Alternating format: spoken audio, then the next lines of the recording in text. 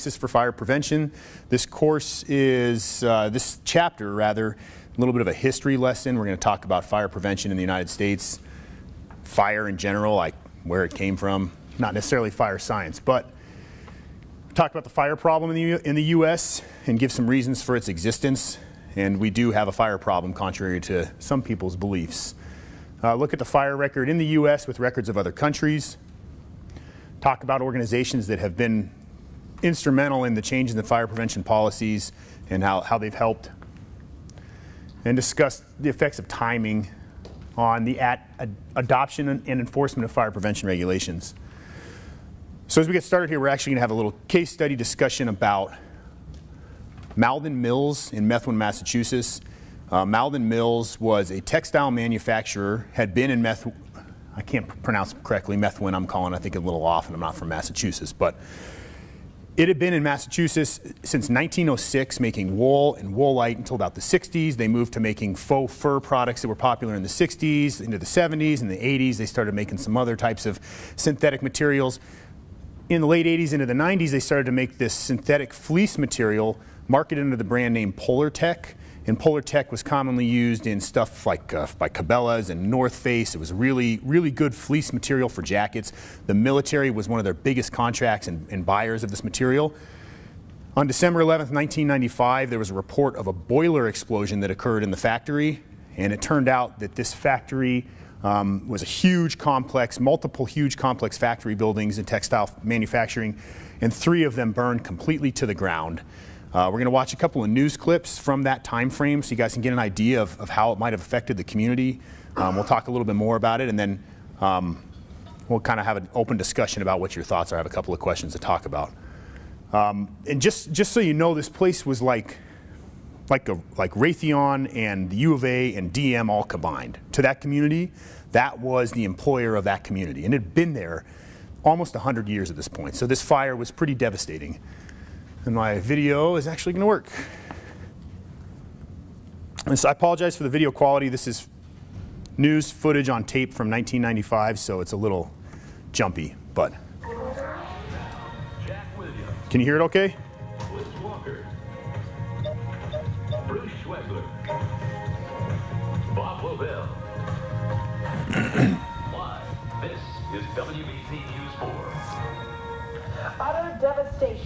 Is no other way to describe what the Malden Mills textile fire has done to life in the Merrimack Valley.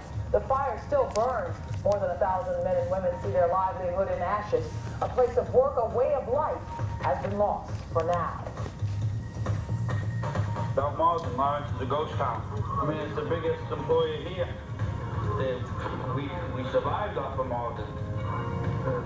Without it here, there's nothing.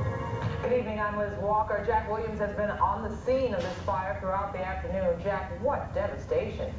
Unbelievable, Liz, because some uh, 22 hours after the flames first began to lick the sky, of course, they continue.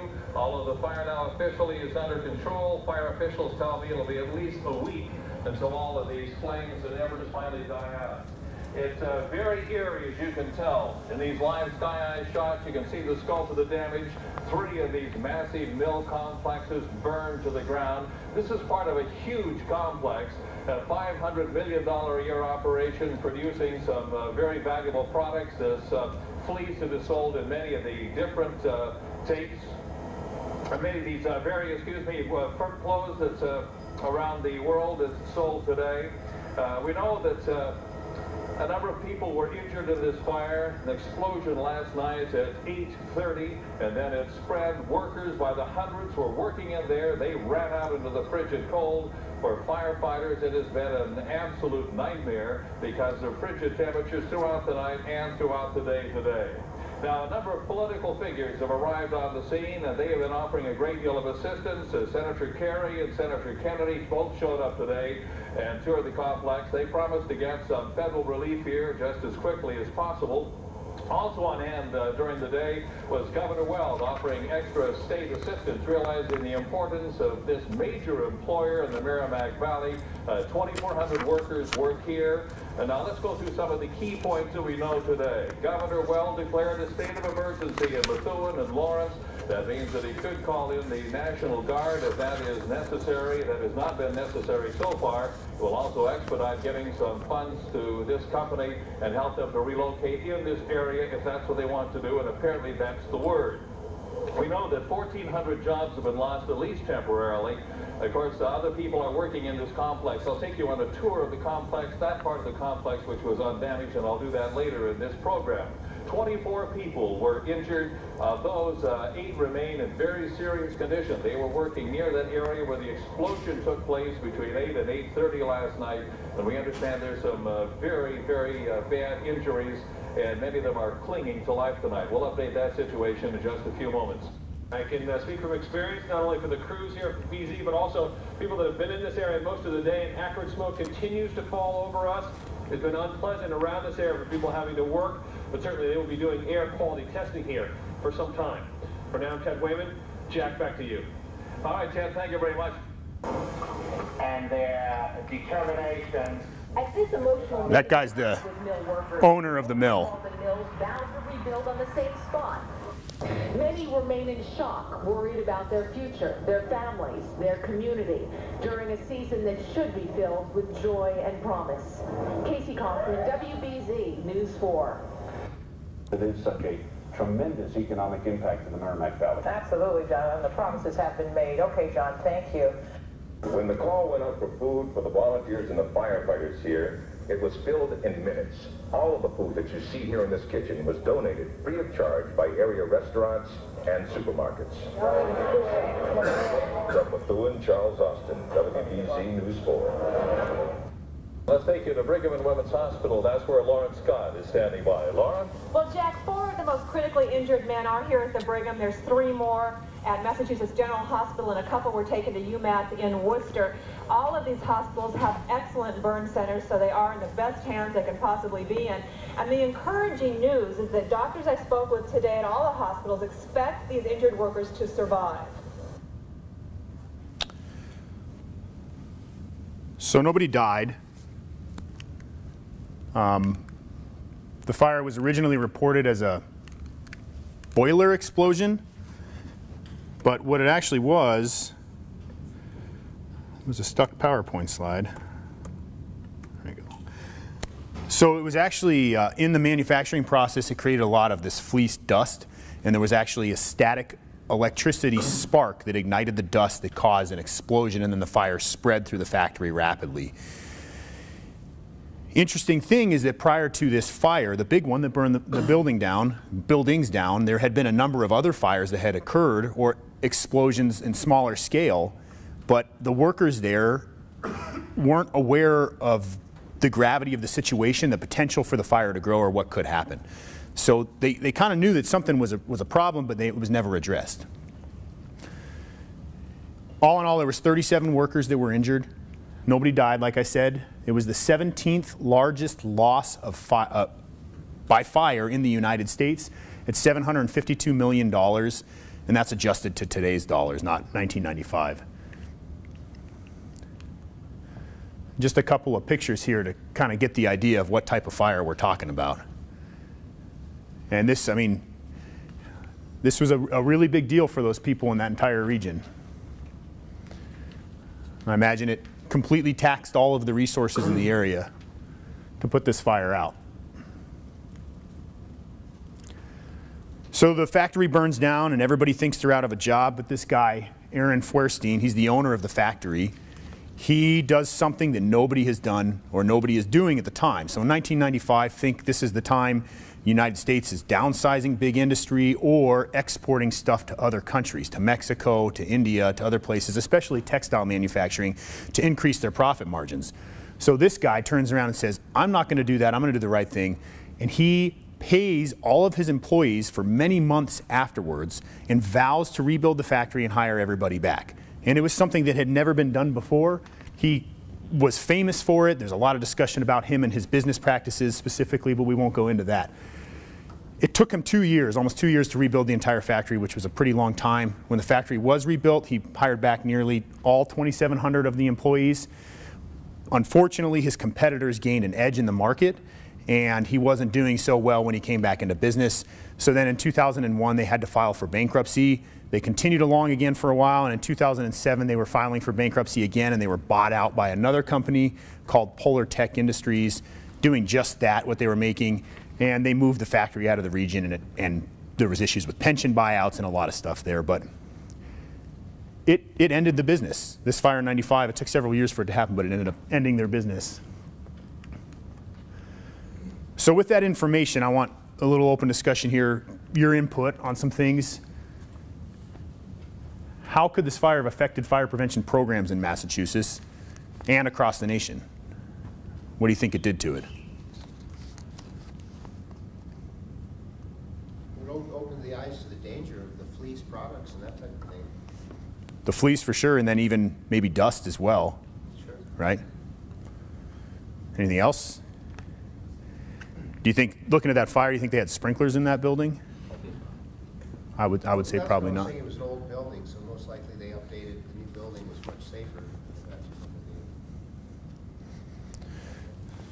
I was gonna say, you mentioned that the building was built in the early nineteen hundreds, and the East Coast is notorious, especially Massachusetts, for having unreinforced masonry, all those kind of issues pertaining to fire prevention. Uh, I think this being more recent, it makes it seem not just a thing of the past, but more current. So hopefully that changed issues regarding that. So the construction, the, the durability of the building, or even, you know, if you imagine textile manufacturing of the 1900s moved into 1995, where these open floor plan constructed buildings with unreinforced masonry and heavy timber. So high fuel load, no fire breaks, no sprinkler system. So I- don't know for sure what changes they made, but I imagine this made some pretty significant changes in policy to, to look at those manufacturing factories, textile, dust, sprinklers, construction, and, and change the code, both in Massachusetts and probably across the nation. What actions could have been taken to prevent the 95 explosion? Knowing that they knew it was a risk, they'd had something happen there before, what could they have done? They needed to notify somebody um, of the problem instead of just keeping it to themselves. Notification, look for outside resources. If the spark originally came from a piece of equipment, then that equipment was not intrinsically safe for combustible dust. So putting the necessary guards or changing out the equipment or changing the process Mhm. might have helped prevent it as well. hmm Any other thoughts on that? And do you think the fire department had any responsibility to educate the plant on the risks of static electricity and dust fires? Do you think that's the responsibility of, like, Tucson Fire has a manufa- textile manufacturing here? Should we be going over there and telling them, hey, you got a, you got a dust issue, you could have a fire? Is that our fault? Is it our business, their business? If it's not your responsibility, it certainly should have been whoever is responsible for OSHA compliance because it is a standard on combustible dust. So somebody should have been doing inspections and identifying those potential hazards and the exposure and identifying, you know, letting them know. And I, agree, and I don't know what the code was in 95 regarding that, so maybe that wasn't there. But if there was a code, and the fire department does have a responsibility to go in there and, and inspect the building. And I think not only part of the inspection is also the education piece too. You teach the people what the danger is while you're inspecting their building and making them compliant with the code, and hope that they take that education to move forward and use it and apply it in other places where they start to identify risks. Or if they, they, you know, they knew that dust was a problem, they see a small fire with a, with an explosion or a false, false, small fire with static and dust, they call the fire department back and say, hey, how can we fix this? So during this course, there'll be a number of case studies, different fires and different scenarios we'll talk about. Different instructors will bring different pieces to that, but all right. So let's talk about hostile fires, fire prevention, the government, some history. Um, we have this issue in the United States and just in general, I think, human culture that when there's a fire, we react to it rather than be proactive and prevent it. So we have this history of this reaction followed by inaction. Um, it's kind of built by a number of things that occur. Most people sit around and think, well, fire's not going to happen to me. I mean, you all, you all probably think that in your home. You think, oh, I'm never going to have a fire in my house. I mean, we all do it. We don't put batteries in our smoke detectors when they go bad, or we do silly things like store oily rags. We say, ah, it's not a big deal. But it does. It does happen to people. And, and the government doesn't necessarily respond to it. The government doesn't have the, the foresight to say, um, we're going to invest our money in fire prevention activities and we're going to put all this money there. We don't have, I mean, we're in a political process right now. We're in election year. And none of our candidates are standing up in any office and saying, you know what, fire prevention is the number one topic that we need to deal with right now, and that's where I'm going to devote my time and effort. No one is doing that. And it's that political process that makes it challenging. You can't, you can't go up and say, this is what I want to do, this is how I want to do it, I want to spend money, because the voters say, well, that's, we don't have a problem. Why do we have a problem? Why would we spend the money there? And so the political process isn't really the pathway to solve our fire problems. And they, the political process is truly the reaction followed by inaction. The insurance industry, on the other hand, they're dealing with money, they're dealing with people's interests, they're dealing not necessarily with people's lives, they are in some regards because they put a dollar value on that, but they're, they have a client and they need to protect their client. So they have been very successful in changing the policy, and they're actually the drivers, and we'll talk about that some more, who have formed fire prevention, fire code, in the way that we operate now in regards to fire, fire code enforcement and prevention. So the American fire problem, we historically in the United States are one of the worst countries in the world in regards to fire and fire loss. We, uh, American fire departments run on average about 2 million fire calls every year. There are thousands of deaths every year from fire. There are tens of thousands of injuries every year from fire, and fire loss in, in property is in the billions of dollars every single year. Um, we've known this for a while, and we measure loss, and specifically you talk about death, injury, and property loss. Those are what we can talk about as direct property loss. You've actually physically lost something. But there's other property loss that, or not property loss, there's other loss that can occur with a fire called indirect loss. And does anybody have any idea what indirect loss could be? Any ideas? Stuff that's not tangible? Business. Loss of business, sure. Productivity, So psychological stuff too, right?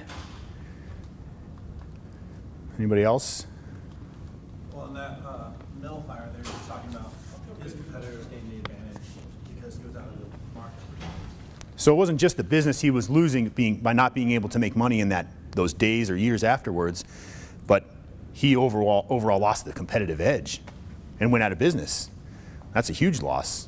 And we don't measure that. U.S. Fire Administration doesn't measure, measure indirect losses. Something else that people don't think about is pets. We don't look at pets as a direct loss. They look at it as an indirect loss because pets and humans are not valued the same way depending on who you are.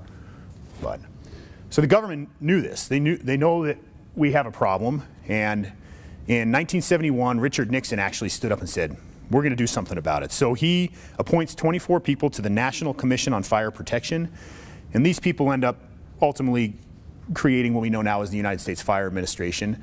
But they did a bunch of thinking and they got together and did some research. And in 1974, they, 1973, they released the America Burning um, paper. So they released this paper, and the conclusion of the paper was essentially that we are one of the most advanced nations in the world, technologically, in the Western world, but we lead the world in per capita deaths by fire. And so in 1974, they got together and they made a commitment that they were going to try and cut fire deaths by half within a generation. So 40 years was their goal. So nearly 40 years passed, and the group gets back together, and in May of 2000, they release the America at Risk report, which was a revisit of what they had originally done. And they concluded that we did a good job, we actually met our goal, we, we exceeded our goal, however, we still are leading the world. And it's not because we don't have the knowledge. It's not because we don't have the equipment. It's not because we don't have the strategies and tactics to fight fire and extinguish fire. It is because we do not invest money into fire prevention activities. And that was what they concluded in that report. So that was released, and really, we've continued to decline in fires. And so over the 10-year trend, we've, we're still doing good. So annual deaths, 1974 was estimated at 12,000. There's some reports that came out saying the number might have been a little bit higher than that, but it's pretty close. 2002, right after the report, lowest ever, 3,380. So over that 10-year trend, we've gone down. Fires per million have gone down 27.7% between 2004 and 2014. Deaths per million down 28.9%, and injuries per million down 39.6%. So almost a 30% reduction across the board there, which is pretty good. However, we still are double most European countries in regards to our fire loss, fire deaths.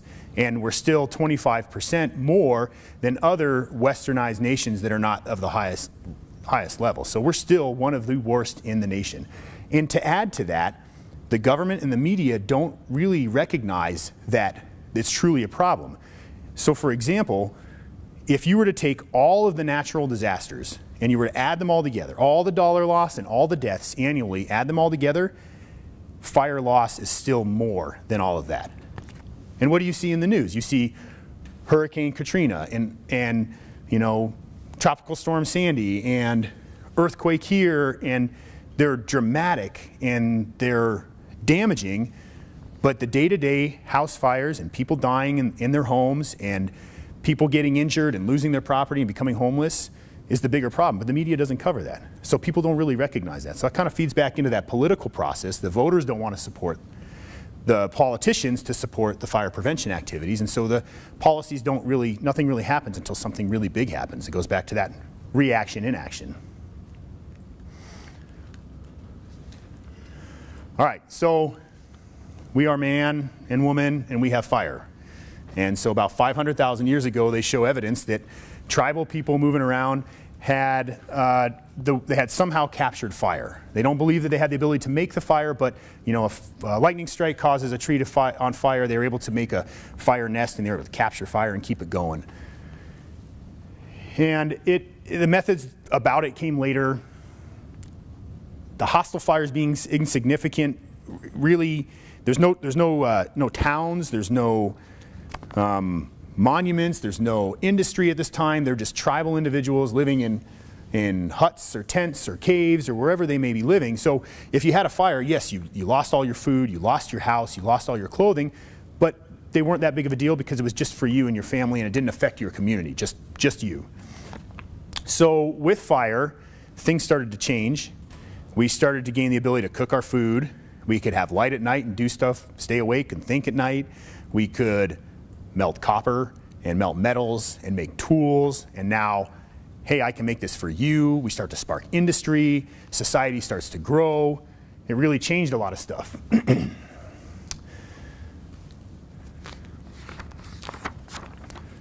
so we talk about the technological process in making fires. So they start 500,000 years ago, you capture it from a forest fire, and then slowly along the way there, man figures out that if you rub two sticks together, that boom, I get fire. So now we're even better because now we can move even further out, trap more game, find more resources, we become more productive.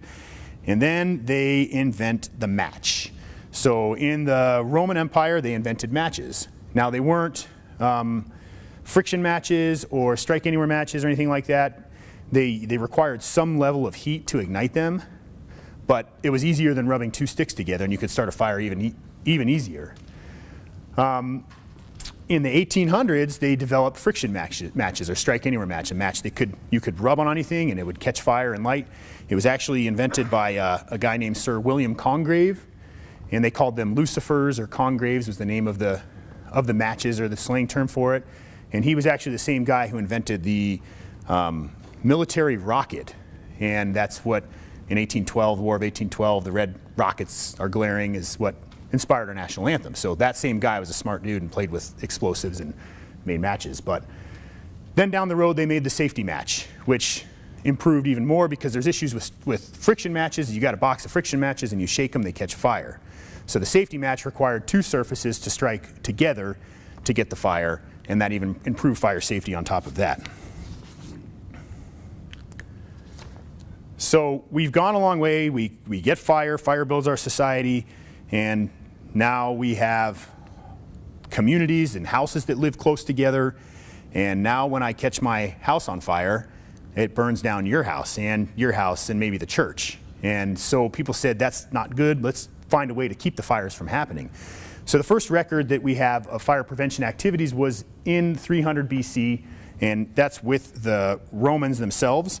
And they organized their slave groups together and called them the Familia Publica. And their job was to basically go out at night and wander around the streets and look for fires to prevent the actual spread of the fire or the conflagration. They continued that program and moved it on. In 24 BC, they actually kind of came up with a different model, and they had a, a, municipal fire department, and they were the corps of vigiles. And these guys would walk around looking for fires, doing the same thing, but they actually fought fire.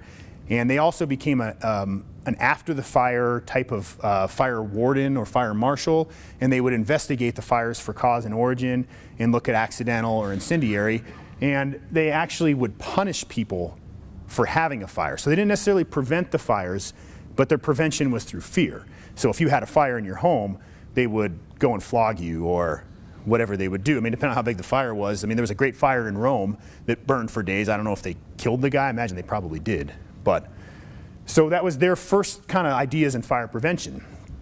Fast forward into England in the 9th to 11th centuries, they're the ones who start to actually think about this idea of let's prevent the fires from ever happening. You know, rather than let's wait till the fire happens and punish the people, let's find out why the fires are happening and, and let's stop them. So they came up with this idea that um, the guy's name was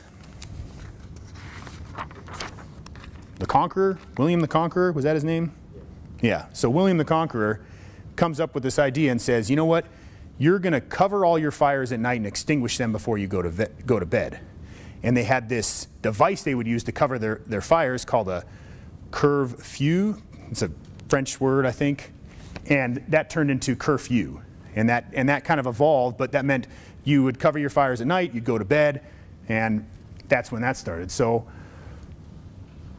the English are the ones who are responsible for the, the real idea of fire prevention as we see it now. They started to think even more and said, okay, where are other risks? And they, the English in the 1500s started to regulate bakers and candle makers because they were working with fire directly every single day. And they said that they would have to have stone chimneys. You couldn't have wood. They'd have to have firewalls. They'd have to extinguish their fires. They did a lot of work at that point. However, they didn't do so great, and in 1666, the Great Fire of London occurred. And this was started by King Charles Baker. They had um, a store of kindling next to their fire, and it caught that on fire, and then it burned, and it burned for five days and nights. And it was a pretty significant event. There really wasn't that much in regards to loss of life, but it was at a really bad time. So 1664 and before, average deaths in London were about 17,000 people per year. 1665 was the plague or the Black Death. They lost 68,000 people that year alone. So then the next year, 1666, they're like, okay, whew, we're getting healthy again. No one's going to die. They had the Great Fire of London. And it burned 13,200 homes, 87 churches, 20 warehouses, and 100,000 boats over that five day period. So they burn down the city, and Parliament says, we got to do something. We got to we got to find a way. Let's make our buildings safer. So it takes them two years to come up with a policy to say, okay, you have to have stone walls and stone chimneys and tile roofs and slate roofs. They come up with that. It takes them two years, and that's a good example about this political process. There have been a disaster, but it takes two years for them to actually get to a decision on how they're going to address this it takes another 108 years before they actually start to enforce the code. And that's that people, after two years, they've made the laws now, but the memory has faded regarding the fire itself. I mean, they've probably rebuilt and people have moved on. They thought, well, it's not going to happen again. It happened one time. It was a one-time thing. It's not going to happen again. So it takes them 108 years before they really start to put some effort into the, into the actual code that they had established. So that's London. That's England. But as we all know, we're all a colony of the British. And in 1608 was the first recorded big American fire, and that was the city of Jamestown, and it burned to the ground practically. And they kind of had an idea, they had some prevention activities going on there because the Native Americans were not particularly happy that the white man had come and taken over their land. And so at night, the, the men would stand around the wall with muskets and buckets of water being prepared for fire attack because that was a particularly um, fun thing for the Native Americans to do to the city of Jamestown. Well, they finally burned the place down and it was very devastating. Most of the sick and injured and old ended up dying from exposure and, and quite frankly, it could have absolutely made all the British move away from this continent altogether, but we didn't. And we continued on and we built big cities like Boston. Just to highlight the problem that by before the American Revolution in 1776, 1775, that time frame there, they had nine serious fires in Boston.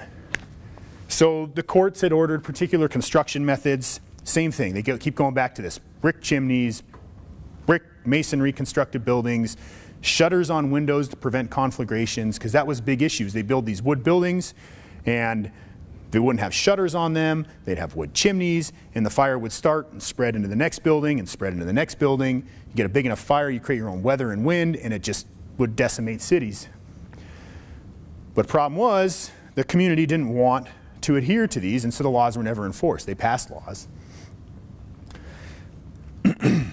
then we go to the Great Chicago Fire. Um, October 8th, 1871, Mrs. O'Leary's cow kicks over a candle in the barn, right? And it starts the fire that decimates Chicago. Um, it was not the largest loss in the United States. And what's interesting is that on the same night was actually the fire that was the largest loss ever, killing 12,000 people in Wisconsin.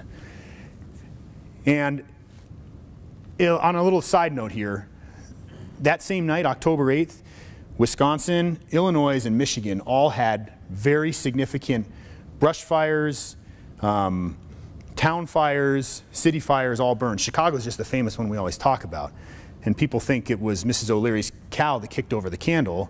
People suspect that the embers from the Chicago fire flew over Lake Michigan in, into Michigan, and that's what started the Michigan fires, but that doesn't explain the Wisconsin business. And there's people who have done a post review looking at these fires, and they believe it might have actually been the Perseid meteor shower that was there at that time, and a, and a group of meteorites or a large meteorite crashed into the earth and actually ignited all those fires. Just something to think about.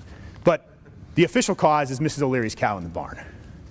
So anyway, so the Great Chicago Fire, it burns 17,500 buildings, 300 people die, and the worst part is 100,000 people afterwards are homeless.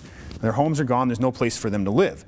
And this all is right about at the same time as a political election for a mayor. So this guy comes up and he says, I'm going to be the fireproof mayor. I'm going to fireproof Chicago. I'm going to it's never going to happen again. And he gets elected because that's the reaction. We're going to get the guy, we're going to come in, he gets into the office, he does nothing. He actually doesn't, he, he underfunds the fire department, he doesn't do anything with the building code, he doesn't help out, and in fact, three years later, the National Board of Fire Underwriters gets notified that the conditions in Chicago are worse than they were before the fire actually started. So the government didn't do anything. The governmental process was ineffective. Well, the National Board of Fire Underwriters is the insurance industry. So they turn around to the city of Chicago and they say, Chicago, we're going to give you two months, and if you don't get the job done, you can't fix your city, we're not going to insure any of your buildings. And if your place burns down, you're out of luck. And so Chicago drug their feet, and a week before their deadline, they actually complied, changed their policies, made their laws, and actually moved forward with the programs. So that's a pretty good example of how insurance companies are a little better driver than the government is itself. So this um, National Board of Fire Underwriters, they actually were proactive in some of their work as well. That was, that was also reactive on their part in some regards, but they produced this Safeguarding the Home Against Fire. It was a 91 page pamphlet that they handed out for free to 2 million school children in 1918. And it talked about the comparison of fire waste to other nations, and that's what we're talking about. We call fire loss now. They call it fire waste, talking about property and people and, and, and money. And in their document, they said that the United States fire waste was four times that of other European nations. So we've gotten better, but we, we were bad then and we're still bad now. So the United States has had different ways of preventing fires. Um, generally, they're undertaken by the state and local governments after a disaster, and they're not usually proactive. Um, and that's how it had been for a long time, and it, and it started to change later. But some examples were prohibiting storage of flammable materials, um, limiting occup hazardous occupations, regulating combustible construction, but they never really got into like inspections in a formal code for a while. The New Amsterdam colony, which is New York now, they started this program called the Rattle Watch. They actually funded it by creating a tax on, on chimneys. So if you had a chimney, you were a risk for a fire, so they taxed you. And then they took that money and they went and bought a whole bunch of brand new leather buckets, some hooks, some ladders, and then they got these guys to go around with these, these rattles. And the idea was they would sound the alarm. So they'd look and look through your windows and look over your walls and walk around the neighborhood at night. And if they saw a fire, they'd spin the rattle and they would get the fire to come put it out as fast as they could to prevent the spread of the fire. Well, it kind of worked until people realized that people looking through their windows are looking at their stuff and then things go missing. And so they kind of started to be viewed as prowlers rather than protectors. And it wasn't particularly effective and it went away.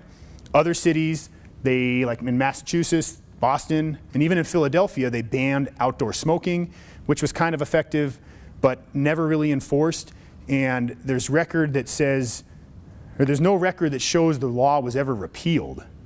And in fact, so technically you can't smoke in Massachusetts or in Philadelphia, in Pennsylvania, but we still do, people do.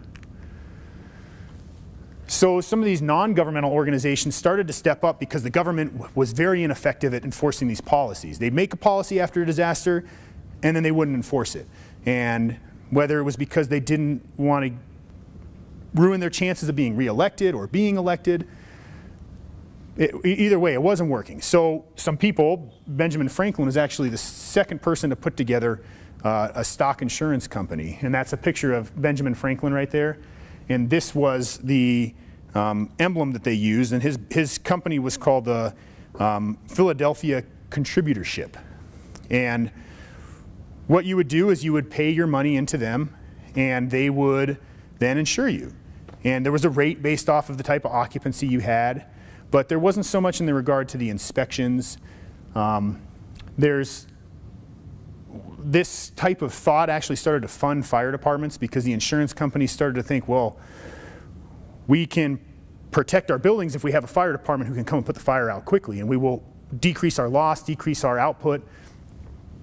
So there was a number of insurance companies that popped up and a number of different individuals who were trying to protect these buildings. And uh, historically, there's rumors of fire departments fighting at buildings when they'd catch fire. They'd show up, and two fire departments would show up, and they'd want to put the fire out because they got paid on their performance. And in fact, uh, New York Fire still calls a fire a job. We all call it a call or a run, but they call it a job, and that was because back in the day, you would, the fire would start, you'd get a job, you got paid for your job. But that kind of changed and went away, but that's just some examples of them starting to pop up. So this, that's what you call a, a stock insurance company is a for-profit business that you pay me to insure you, and if you have a fire, I, I pay you back. And that's the only thing I'm interested in is I want to make some money, and I don't want you to have a fire, but I'm for profit.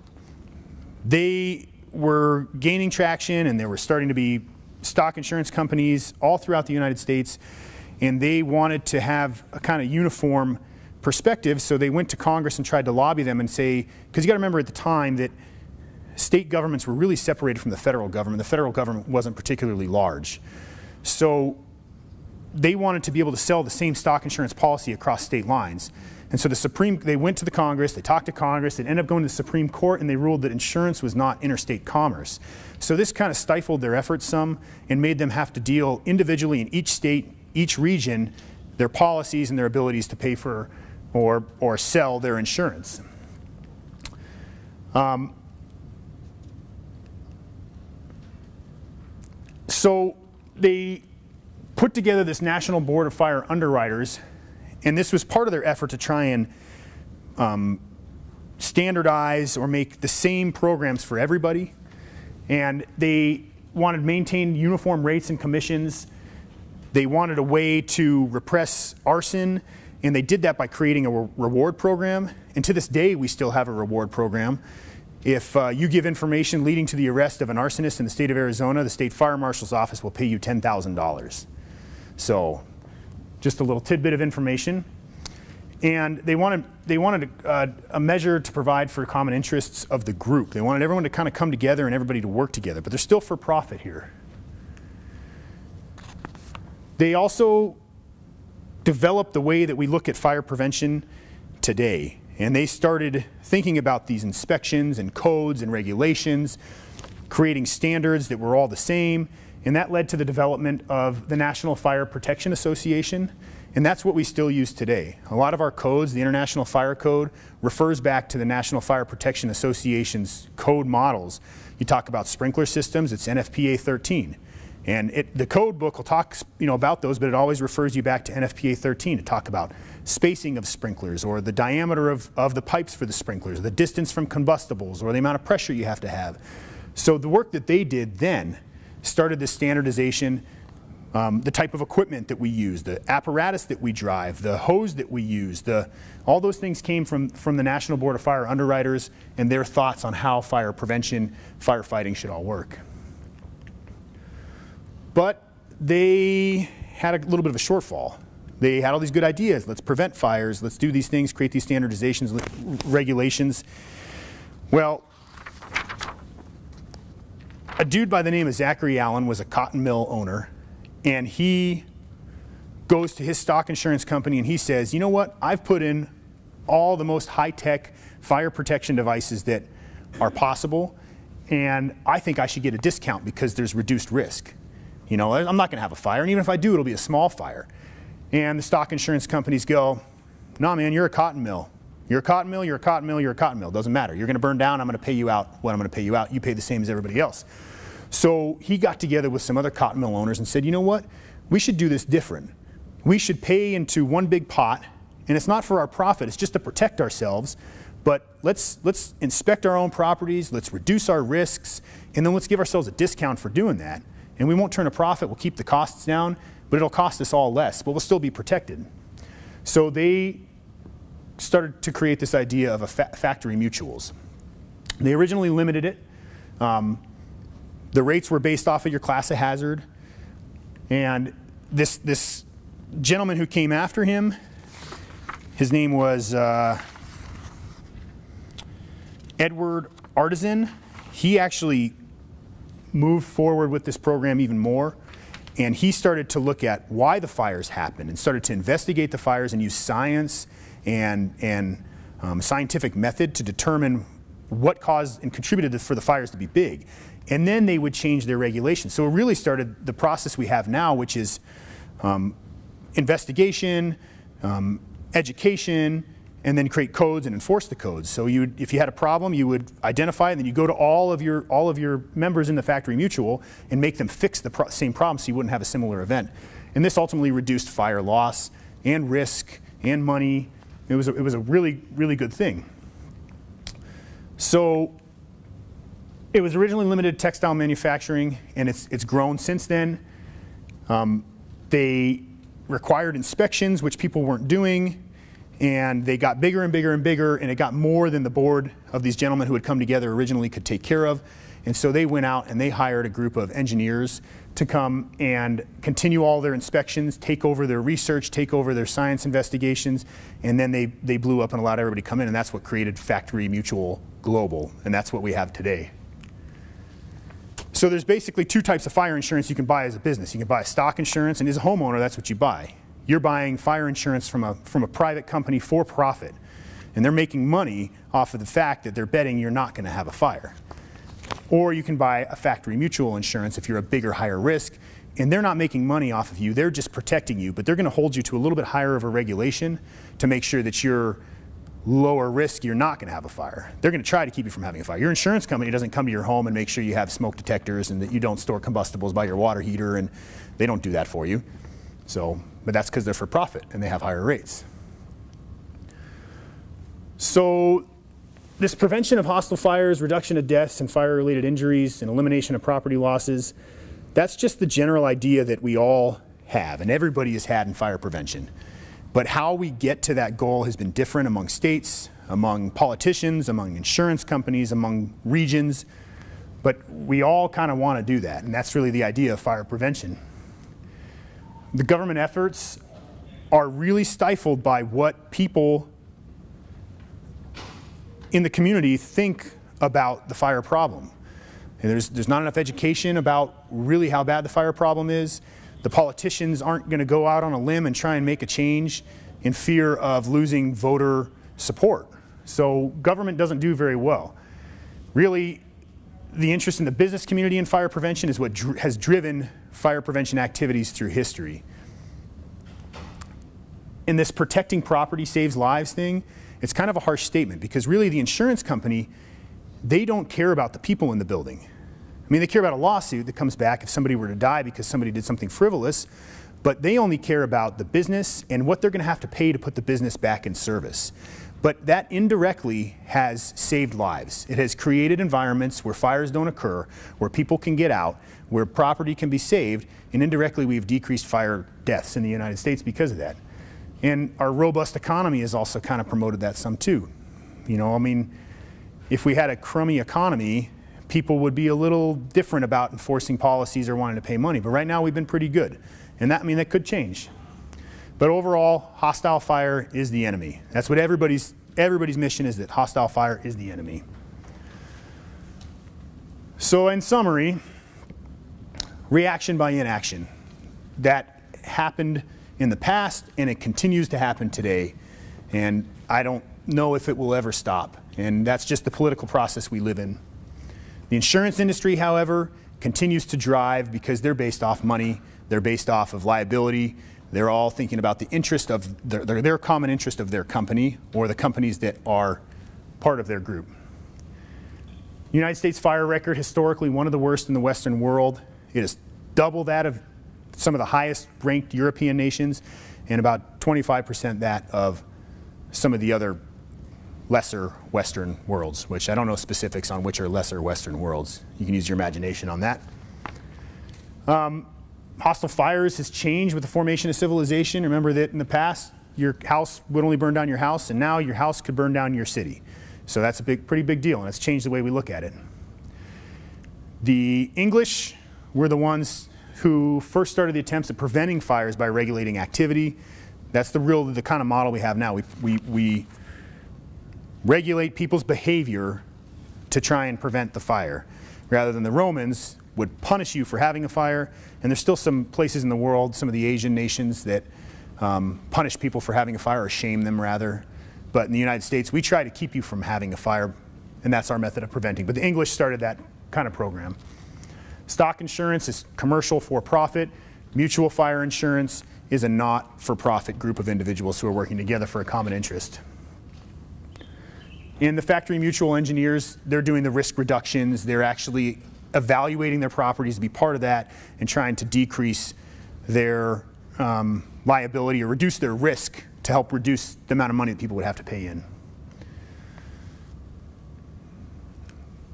Fire prevention methods depend upon the political and economic climate. It really does. It's a timing piece. It really depends on what the people, how they're doing, what the what the businesses are, are people making money? I mean, you look at the city of Detroit right now, and they just filed for bankruptcy, and nobody lives in the city to pay taxes, and they're shutting down fire stations, and they're burning houses down regularly because they have squatters. I mean, I, I don't know their particular efforts, but I doubt they're going around knocking door to door doing fire prevention activities. Or if they are, I highly doubt they have much funding to support that program. And all that stuff takes money. But a big city like Tucson, we have a pretty good program when our economy is pretty decent. And everybody must strive to implant the concept of fire prevention as an individual's obligation to the community. That's just the last piece that we have to teach everybody how to be fire safe. And that's the only way that we're truly going to make places safe.